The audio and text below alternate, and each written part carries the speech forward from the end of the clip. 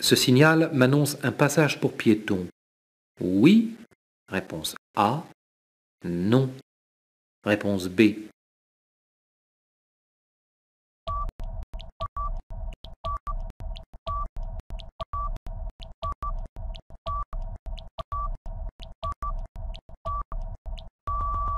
Ce signal m'annonce un passage pour piéton matérialisé par des bandes blanches.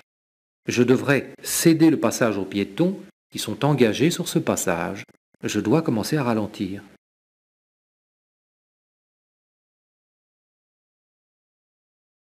Je peux tourner à droite. Oui, réponse A. Non, réponse B.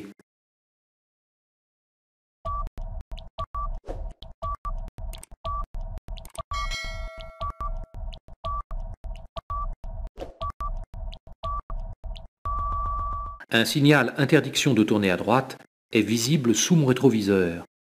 D'autre part, la ligne Stop, peinte sur toute la largeur de la rue de droite, m'indique que celle-ci est à sens unique, comme me le confirme le panneau sens interdit.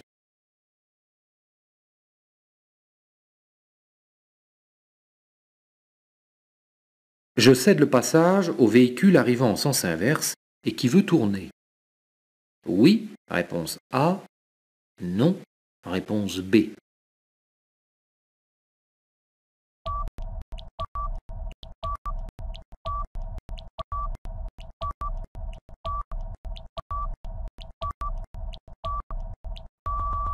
Le véhicule SMUR ou SAMU, arrivant en sens inverse, fait usage de ses avertisseurs spéciaux. Je dois lui céder le passage.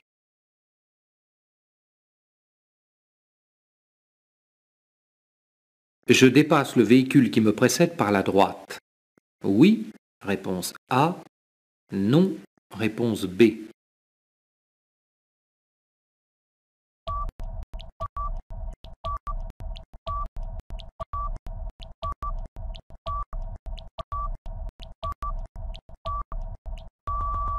Le dépassement par la droite n'est possible que si le véhicule qui me précède signale son intention de tourner à gauche.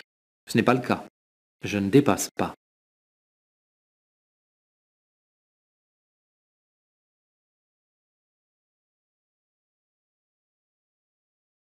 Si je reste sur la route nationale 75, j'aurai la priorité de passage dans toutes les intersections de l'agglomération. Oui, réponse A. Non, réponse B.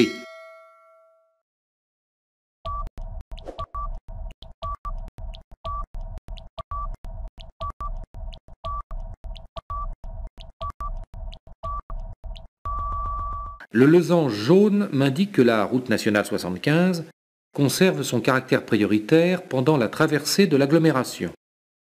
J'aurai la priorité dans toutes les intersections.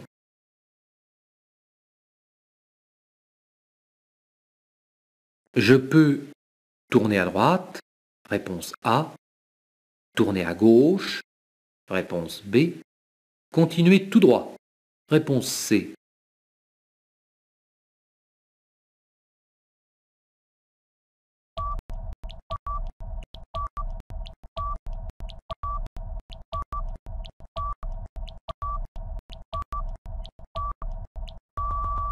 Le panneau sens interdit m'interdit de continuer tout droit, mais je peux tourner à gauche et à droite.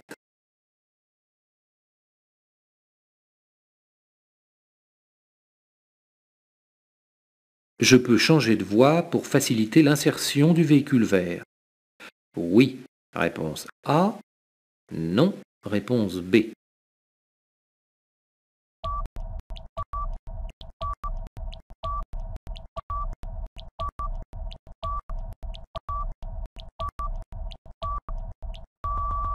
Dès lors que la manœuvre ne présente aucun danger pour les autres usagers, je peux changer de voie pour faciliter l'insertion des véhicules arrivant de droite.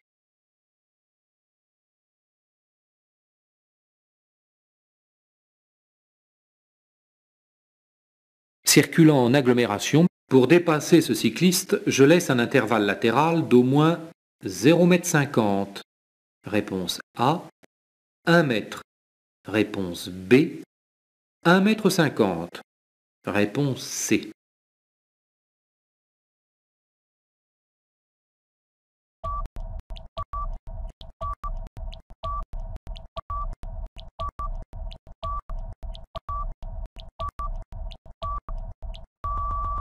en agglomération. Pour dépasser un véhicule à traction animale, un engin à deux ou trois roues, un piéton, un cavalier ou un animal, je dois laisser un espace d'au moins un mètre en dépassant.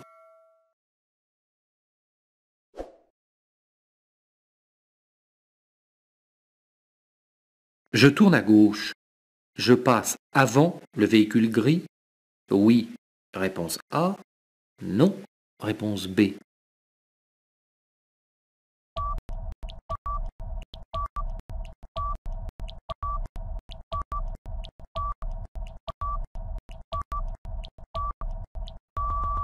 Le véhicule gris qui vient de droite a rencontré un signal stop. Je passe avant lui.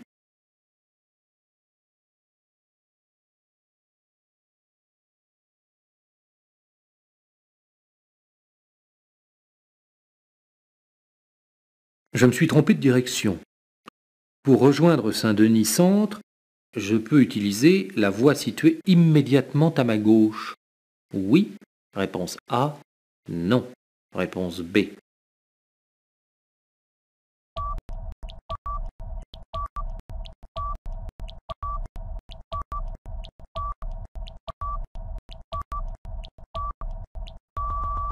La signalisation m'interdit de changer de voie. Je ne peux plus prendre la direction de Saint-Denis Centre pour l'instant.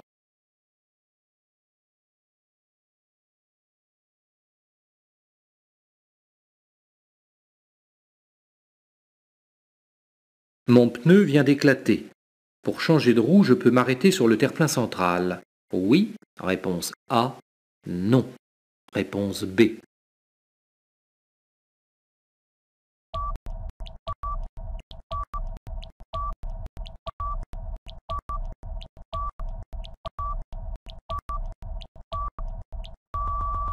Même en cas de panne ou d'accident, il m'est interdit d'utiliser le terre-plein central pour effectuer une réparation. Je dois utiliser la bande d'arrêt d'urgence ou l'accotement droit.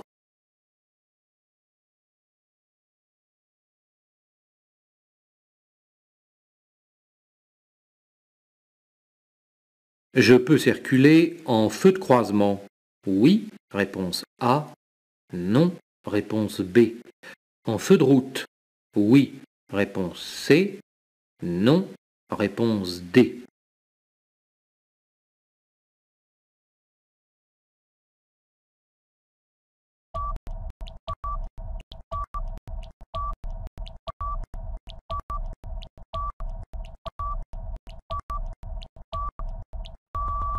Il fait nuit et la route n'est pas éclairée.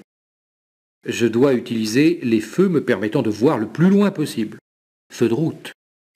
J'utilise mes feux de croisement en race campagne pour suivre ou croiser d'autres usagers.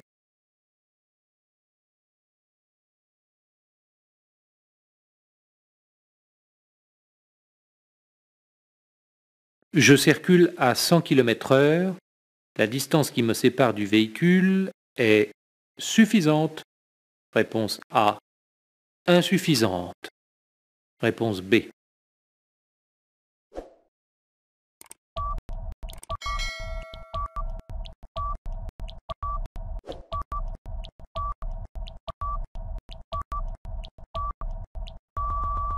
Pour calculer rapidement la distance qui doit me séparer du véhicule qui me précède, je multiplie le chiffre des dizaines par 3, soit 100 km heure, 10 multiplié par 3 égale 30 mètres.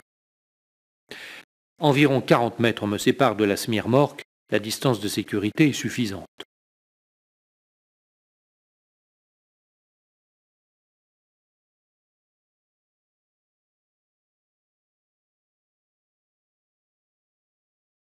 Le feu vert s'allumera lorsque j'aurai réglé mon droit de passage. Oui. Réponse A. Non. Réponse B.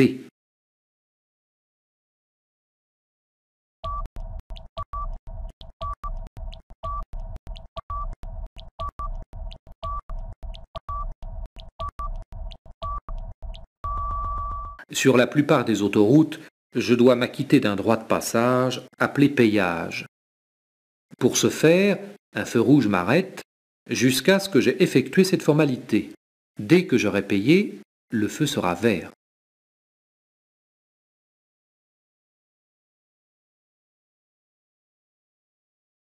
Je peux circuler avec mes feux de position sol. Réponse A. Mes feux de croisement. Réponse B. Mes feux de route. Réponse C.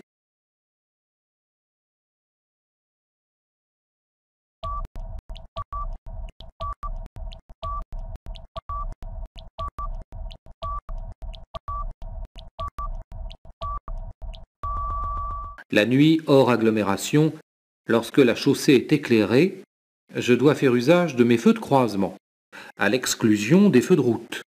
L'utilisation des feux de position sol n'est possible qu'en agglomération éclairée.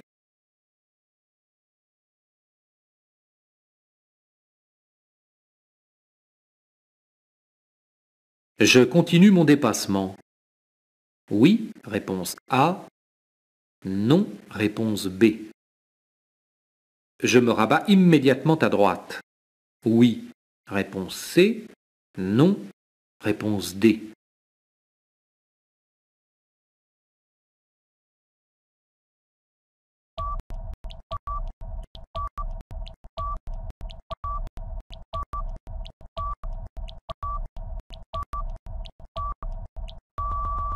Le véhicule de chevaux qui a signalé son intention de dépasser doit attendre que la voie qu'il veut emprunter soit libre. Par mesure de sécurité, je peux klaxonner pour lui signaler ma présence, et je continue mon dépassement.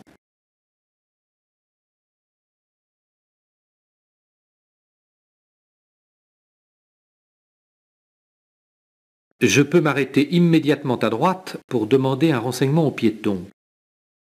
Oui. Réponse A. Non. Réponse B.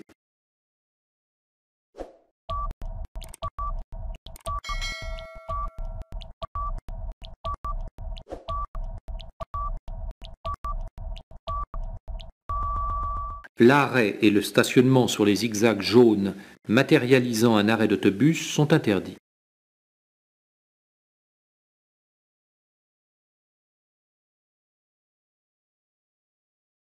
Je circule sur un itinéraire de délestage.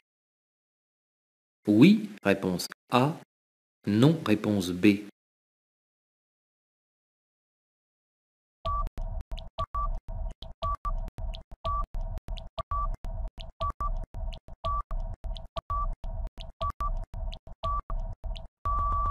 Cette signalisation jalonne un itinéraire de déviation. Je ne suis pas sur un itinéraire de délestage.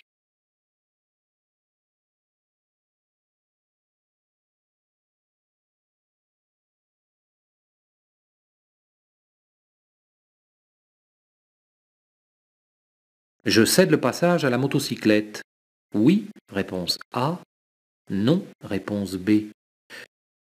C'est à elle de me céder le passage. Oui. Réponse C. Non. Réponse D.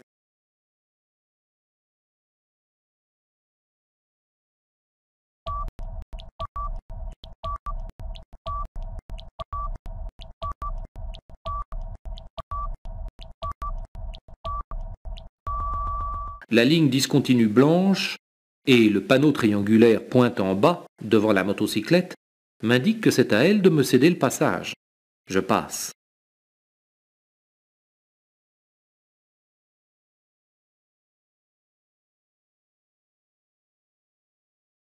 Je peux dépasser le véhicule blanc et rouge par la droite. Oui. Réponse A. Non. Réponse B.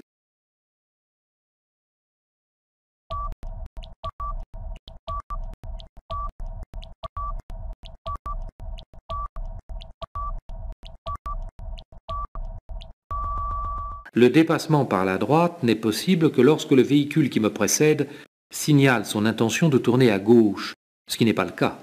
Je ne dépasse pas.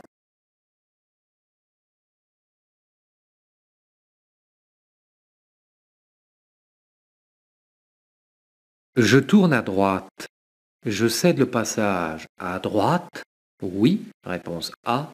Non, réponse B. À gauche. Oui, réponse C. Non, réponse D.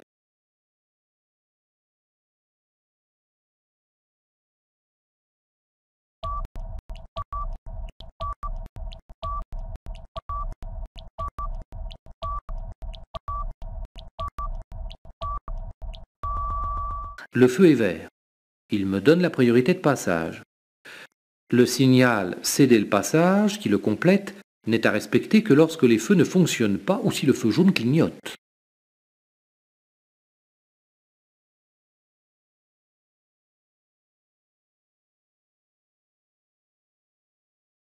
Je passe.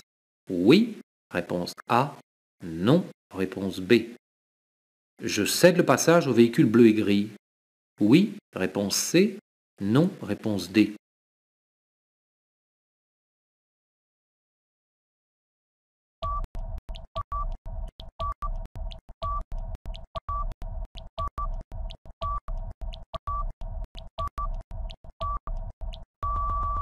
Aucune signalisation ne réglemente le passage dans cette intersection. J'applique le régime de la priorité à droite et passe sans céder le passage.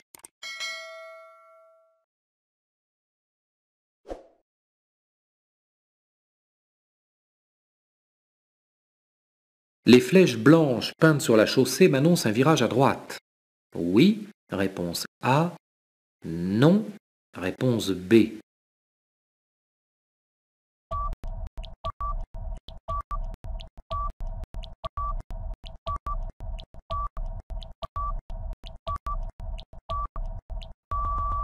Ces flèches blanches m'interdisent de dépasser. Elles m'annoncent une ligne blanche mais ne m'annoncent pas de virage.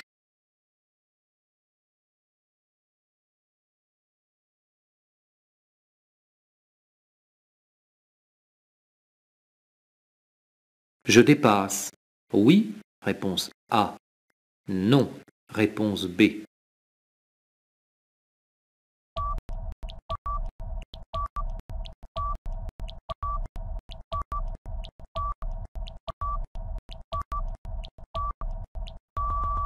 En agglomération, pour dépasser un véhicule à deux roues, je laisse un espace latéral minimum de 1 mètre. Pour effectuer cette manœuvre, je circulerai sur la partie gauche de la chaussée et je risquerai d'entrer en collision avec les véhicules arrivant en sens inverse. Je ne dépasse pas. Je peux dépasser le véhicule qui me précède? Oui, réponse A. Non, réponse B.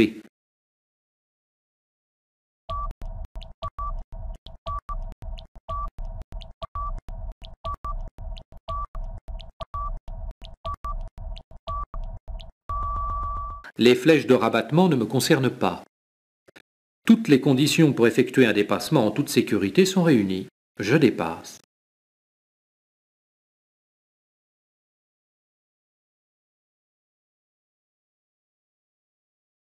Les feux clignotent. Je vais tout droit.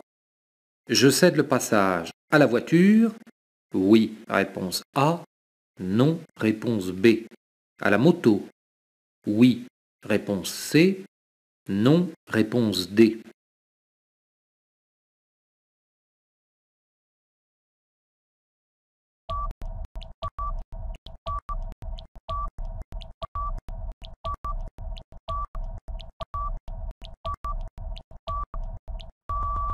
Lorsque les feux clignotent, la règle de priorité qui s'applique m'est donnée par les panneaux implantés sur le même support que les feux. Ici, je cède le passage à droite et à gauche, c'est-à-dire à la voiture et à la moto. Si les feux ne sont pas complétés par des panneaux, je dois appliquer la règle de la priorité à droite.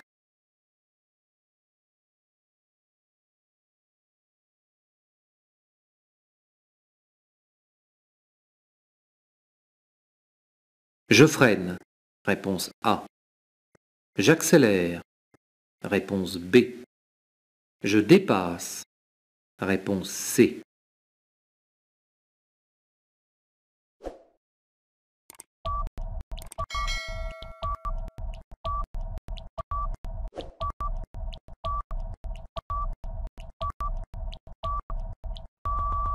Le véhicule devant moi a les feux stop allumés. Je freine. L'insuffisance de visibilité et le fait que je sois dans un virage m'interdisent de dépasser.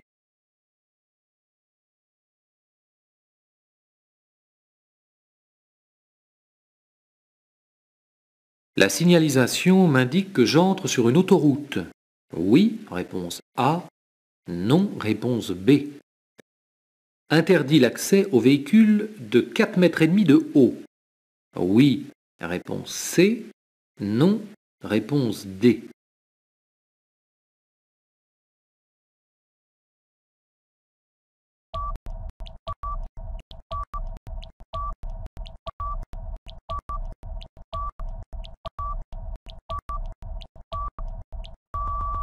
Le panneau à fond bleu m'indique que j'entre sur une autoroute.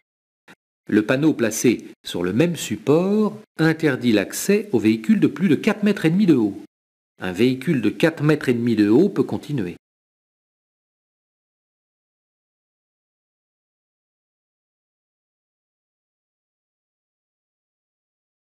Le conducteur qui arrive en sens inverse a conservé ses feux de route allumés.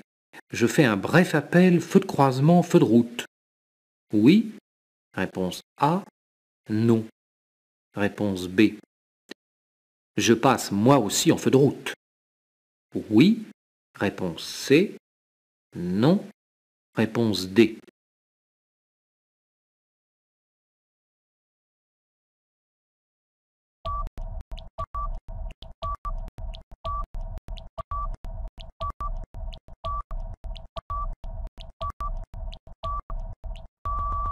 Lorsque l'usager qui arrive en sens inverse a conservé ses feux de route, je dois l'en avertir en faisant un appel feu de croisement, feu de route.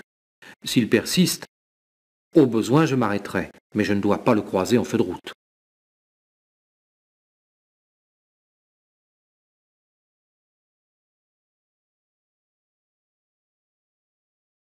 Je cède le passage au véhicule qui arrive en sens inverse et veut tourner. Oui, réponse A. Non, réponse B.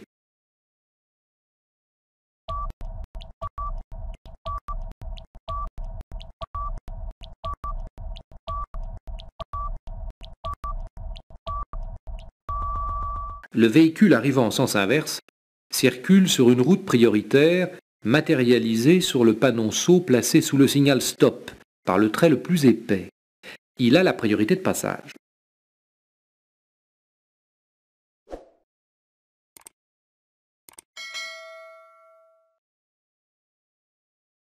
Ce signal m'annonce une intersection. Oui, réponse A.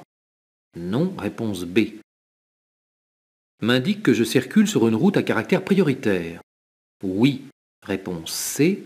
Non, réponse D.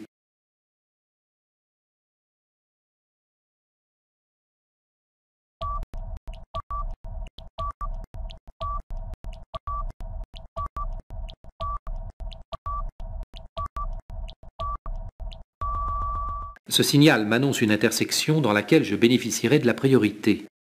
Mais ma route n'est pas à caractère prioritaire. Il s'agit ici d'une priorité ponctuelle.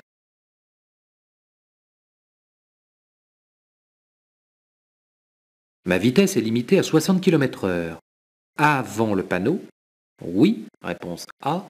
Non, réponse B. Après le panneau Oui, réponse C. Non, Réponse D.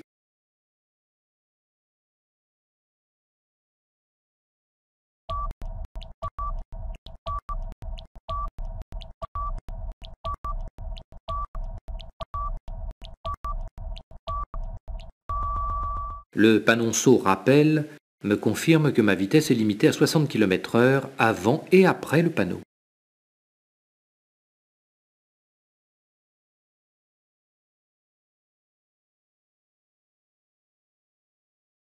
Je circule hors agglomération.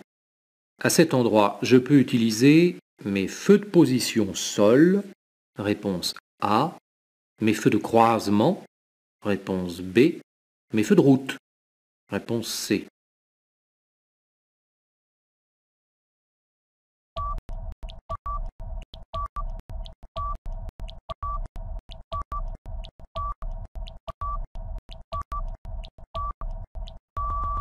Circulant hors agglomération, il m'est interdit d'utiliser mes feux de position sol. Lorsque la chaussée est éclairée en continu, il m'est interdit d'utiliser mes feux de route. Je circule en feu de croisement.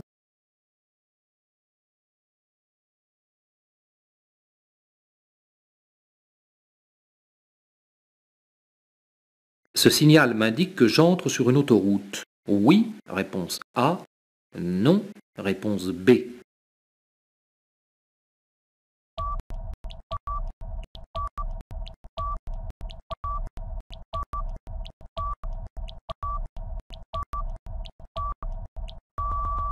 Ce signal m'annonce que je pourrais prendre l'autoroute A40 à 10 km d'ici.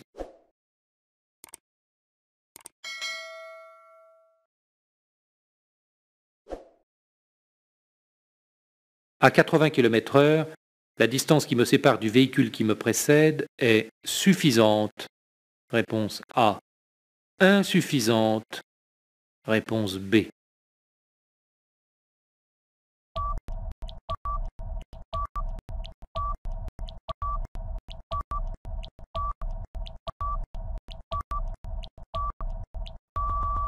À 80 km heure, je dois laisser 8 multiplié par 3 égale 24 mètres entre mon véhicule et celui qui me précède.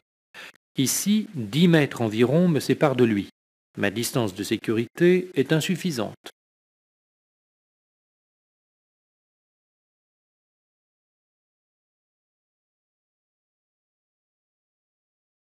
Je vais tout droit. Je cède le passage à droite. Oui, réponse A. Non, réponse B. Je cède le passage à gauche. Oui, réponse C. Non, réponse D.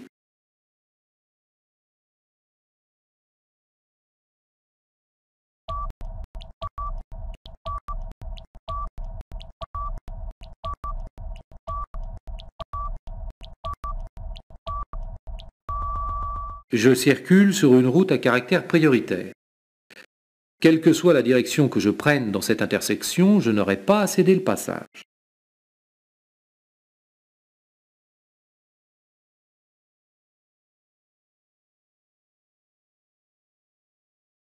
Le temps de réaction peut être modifié par l'absorption d'alcool.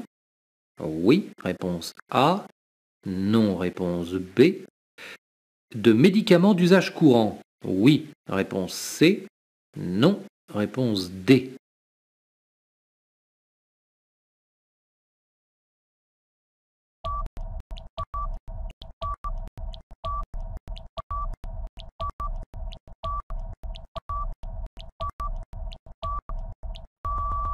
L'alcool et les médicaments comme la fatigue et la distraction augmentent le temps de réaction.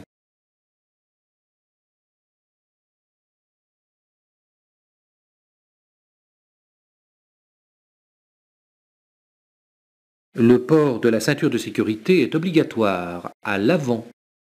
Oui, réponse A. Non, réponse B. À l'arrière. Oui, réponse C. Non, réponse D.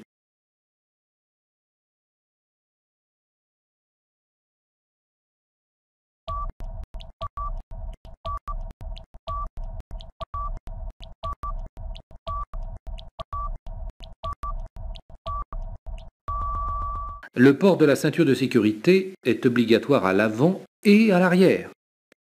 Les enfants de moins de 10 ans doivent être installés à l'arrière du véhicule et la ceinture de sécurité doit être complétée en fonction de leur âge par des dispositifs spéciaux, sièges spéciaux, réhausseurs, etc.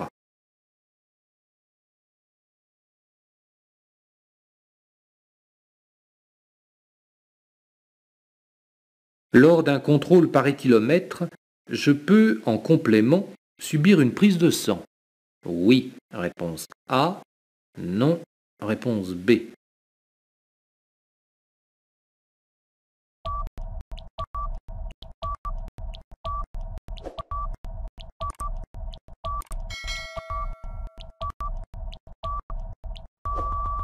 L'éthylomètre permet la mesure immédiate et précise du taux d'alcoolémie par analyse de l'air expiré.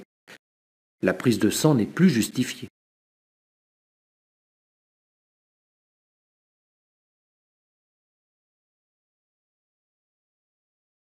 Lors d'un contrôle de police, je peux présenter la photocopie des papiers de mon véhicule. Oui. Réponse A. Non. Réponse B.